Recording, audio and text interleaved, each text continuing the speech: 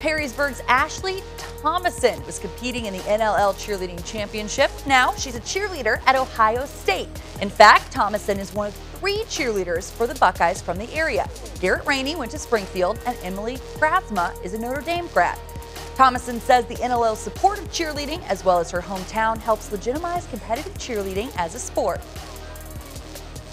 And I think that the my coaches in high school and just the community of Perrysburg throughout my four years really helped show what cheerleading is and show that it's it is a sport and it's more than just waving your pom-poms and Perrysburg was super supportive of that and I think their cheerleading program is going to go really far.